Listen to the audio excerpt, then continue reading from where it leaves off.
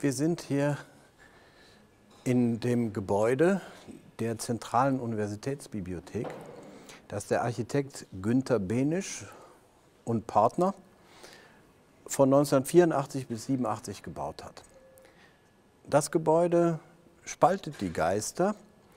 Ähm, vor allen Dingen am Anfang fanden etliche es überhaupt nicht schön, unübersichtlich, zu viele Einzellösungen.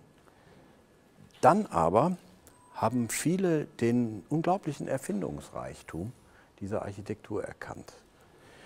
Die Architektur ergießt sich strahlenförmig in den Auen der Altmühl, sodass sich innen vertrackte, interessante räumliche Situationen ergeben. Der Architekt ist sehr berühmt dadurch, dass er das Münchner Olympiagelände für die Olympiade von 1972 gebaut hat. Eine der prominentesten Architekturen eigentlich in der späten westdeutschen Bundesrepublik.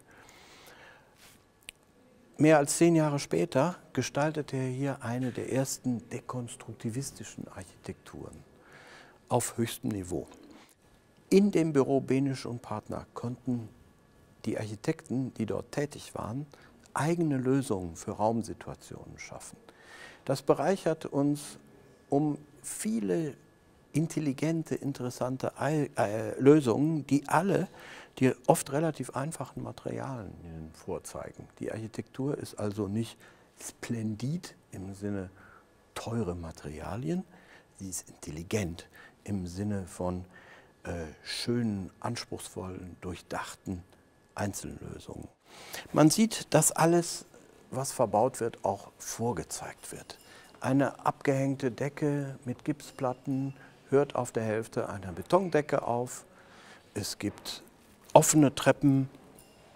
Ähm, man sieht jede Verstrebung. Ähm, das Dach mit ähm, äh, äh, Profilplatten aus Metall ist sichtbar. Insgesamt ergibt sich eine Architektur mit vielen Durchblicken, die bei jedem Licht wieder anders aussieht, mit interessanten Lichtsituationen. Eine Architektur, die insofern an den deutschen Expressionismus, zum Beispiel an den Berliner Architekten Hans Scharun anknüpft. Wir sind froh, dass wir uns hier in einem solchen hochmodernen Ensemble äh, präsentieren können, ein Ensemble, das aber inzwischen wieder historisch geworden ist. Denn heute CAD und virtuelle Architektur sieht anders aus als diese Architektur, die noch auf Papier geplant wurde. Wir haben am Standort Eichstätt eine Fülle solcher sehr guter Architektur. Und zwar von der Romanik über die Renaissance bis zum Barock und schließlich zur Gegenwart. Wir können damit das Unterrichtsmaterial der Kunstgeschichte an Beispielen vor Ort von sehr hohem Rang veranschaulichen. Wir können sozusagen aus dem Kurs heraus spontan eine kleine Exkursion zu den Orten, an denen wir hier gleich Hauptwerke der Architektur veranschaulichen können, machen.